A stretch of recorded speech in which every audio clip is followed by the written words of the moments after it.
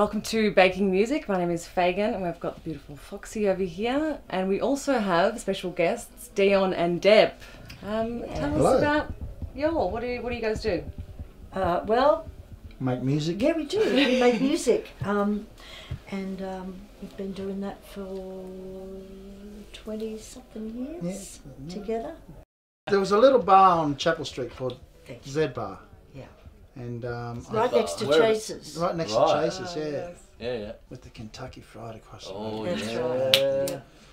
But um, they used to have bands there every night of the week, and we did Sunday afternoons. And we did it well. yes, It was awesome. and we had we did it for about two and a half years. I think we ended up doing that residency. yeah. Yeah, it was shit. great. But it was a really big one. cool. It was really good vibe. Lots of foot traffic, and often people would walk past. You know, Barnsey popped in one day. He Oh, was and go, shit. "Hey, this is great!" He pops in, and uh, we'd always get a lot of foot traffic come through every week. And I got to do music that um, I certainly wasn't known for, but the music that I really, That you wanted to really, do. really wanted to do, Yeah. which was some Doobie Brothers and Yeah, Michael right. McDonald and oh, Ry Cooder. Mm, So yeah, we did, I got to do stuff that was really close, closest to Yeah. my heart, and it wasn't about performing like on theatre.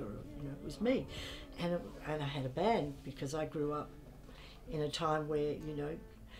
Uh, the bands, you had 20 minutes rehearsal in a dressing room, just looking at charts, and you knew it was going to be hell. And you had no, you had no uh, relationship with the musicians. You had no camaraderie. Yeah, it you're just meeting them for the first time. yeah, and it was Right, not yeah. a nice way to make music. It was, yeah, it was very brutal, and Yeah. I and I loathed it. I hated it. So this was the first time I had a band where I actually hung out with and enjoyed their company and got to know them. You know, in a more intimate way. So the so that pours into the music.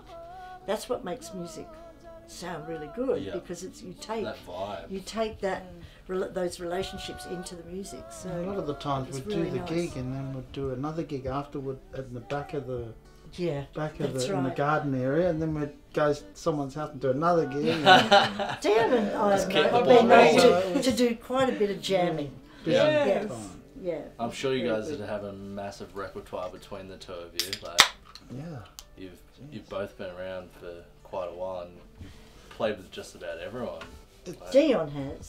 Damn, yeah. Dion's played with phenomenal. who, have you, who have you played with? Um, uh, Ross Wilson, Vanessa Amorosi, uh, Vika and Linda. Vika and Linda. Yeah, Paul Vika and Kelly. Linda. Yeah, Paul, Paul, Kelly, yeah. yes. Uh, Kate, um, Kasey, Kasey Chambers. Chambers. I Uh, love Kasey Chambers. uh, yeah, lots of people, but it's always nice adding new songs. And we're still adding new songs Yeah, today. always. always Always. adding new songs. But we've got some we're just never going to let go of.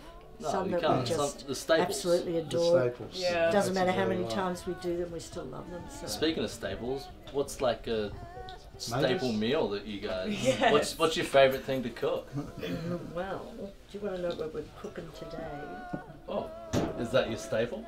Well, it's one of the very popular items that I cook at home for my kids. Yeah, I- And some of the I- best recipes I've got have been from past relationships, you know. Right. Right. You, you must leave a relationship with one good recipe, I think. And I this- love Then that. it's worth That's it. A, How would you both describe your style of music or your genre? We try and make it as broad as possible. But with our Mm. stamp, with our yeah, Yeah. With vibe your definitely, flair. And, definitely uh, got right. we do James Taylor, we do Linda Ronstadt, we do the Eagles, we, you know, we just Tell us about James Taylor. What happened there? James Taylor, I met him after a concert. I was invited back to the Sebel The Sebel, yeah. cocktail bar, which was a, a very iconic place in its day. And uh, after the concert, and I was there, and I was seven months pregnant. I had Indian toe thongs on, and a little cotton red dress, and very short hair, and Is this know, in Sydney? in Sydney. Yeah. Yeah. no makeup, like very, you know, very hippie. I was living in a little communal home in um, Bondi Junction. Oh and- wow. and uh, I was just a massive James Taylor fan and continue to this day to be totally in love with him. And um, anyway, I, I met Waddy Wachtel first. He Oh. came in with the, uh, the energy. Here's my eye. oh, yeah, Waddy Wachtel. whatever. Waddy was amazing. And um, and then James Taylor just sort of glided into the room because he's so placid and so cool. Just and tall. Floated on over. very tall, very handsome, with the most divine eyes. Like, wow. And he just came straight to me. I think I must have looked like the most non threatening person. Did I mention I was seven months pregnant? Oh, okay. We Yeah. circle back to that. So there you go. And we talked, and it was really good conversation. And uh, anyway, I had to go because I thought I just have to go because this night can never be any better than right now. So Yeah. I'm, I'm leaving, you know. And uh, and he Leaving a sat, he knelt down in front of me and he put Both hand either side of my belly and kissed my belly, Kiss the baby, yeah. Kiss the baby. That was pretty amazing. you don't just play music. You act and you do Yeah. you do a bit of theatre and stuff like that as well. I saw you in um uh, what was it? The Sweeney, Sweeney Todd. Sweeney Todd and That was awesome. Oh, that was great. Yeah, it was I, pretty honestly, I didn't even know it was show. you till about halfway through the show. Why would you? well, no, it's definitely. Yeah, Oh yeah, no, that really looks like Deb. I was the ugliest thing you've ever seen. Oh my god, I was so ugly. Oh, that was But fun. you were amazing. I loved it. Like, It was a lot of fun. I know. I was so rude. yeah, you. I was so rude. It was so funny because I rehearse a lot at home, obviously, and I I have care of my two grandsons, and so I'd be in there. You know, I can't even remember how it goes now. But wouldn't you like a little mufti, a little gingy, a little dance around the bush? Wouldn't you like to split me parsley? It looks to me, dear, like you got plenty there to push. Right, so. I'm singing that. I'm singing that around the house for weeks. You know, all these bits of dialogue and stuff. And so, And the kids are and they're quite brash. I don't know, like- they, they were just like, oh, that's grandma, you know, she's doing her thing. And Sort of checks out. so they go to see the show. Lucille, my daughter, and Ollie go to see the show. Ollie's 14, you know. And apparently, he was just so embarrassed because then he realised what the muff was and splitting your parsley was. 'Cause I'm literally down on the floor with my face in this man's crotch, you know. And he's like, Grandma, like, whoa, you know. Oh shit. Funny, but Yeah, I feel like it's kind of beautiful that you guys are off that album? kind of throwing back to Chapel Street with the Kentucky Fried Chicken and kind of bringing your own recipe better it. chicken. better chicken, better it down better. So we're keeping the uh, the chicken game strong. It's, it's a thing. That's the thing. It's That's a the thing. thing, chicken. Chicken. Should we get cooking? Yes, please. Yeah. So I'm Um, really, really hungry. First of all, though, what what are you gonna play for us this afternoon? What's your what's your song? I think we're gonna do only a fool. only a fool from Steely Dan. Only a fool Beauty. would say Great. Yeah, Excellent. Uh. We do a kind of. You you can describe it better Uh, than me, probably. Only a fool. Yeah, it's very um, bossa nova. It's uh, yeah, we do a bossa nova.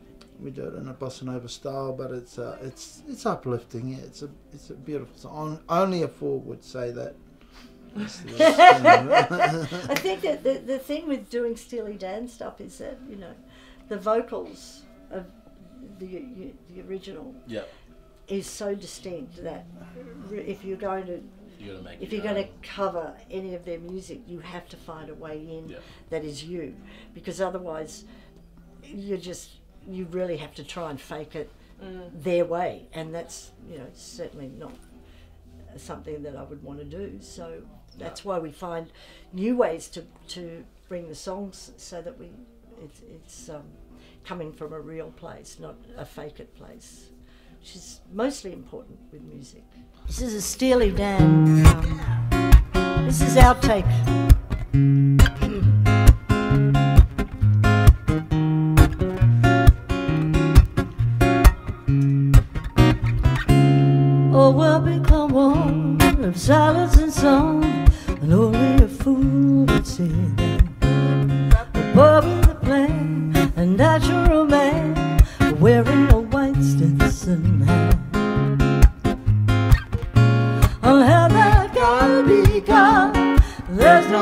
not too far apart. If he's holding it high, he's telling a lie.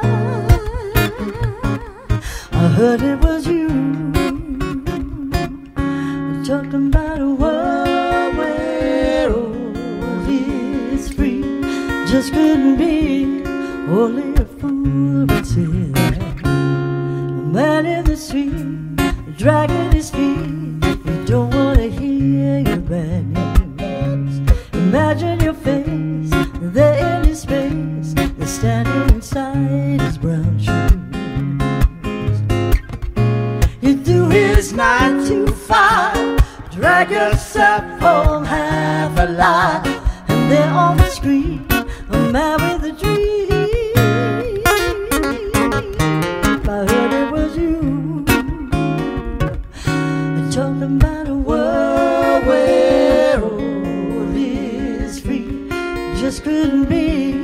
Only a fool would say that.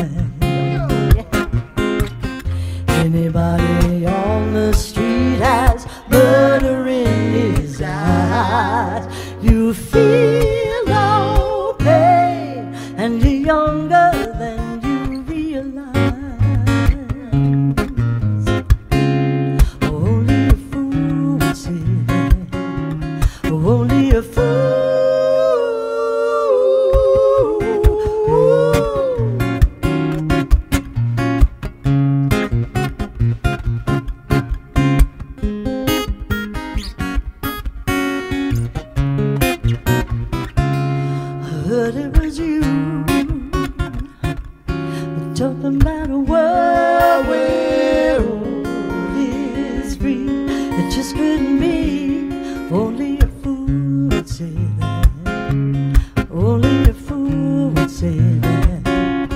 Only a fool would say that.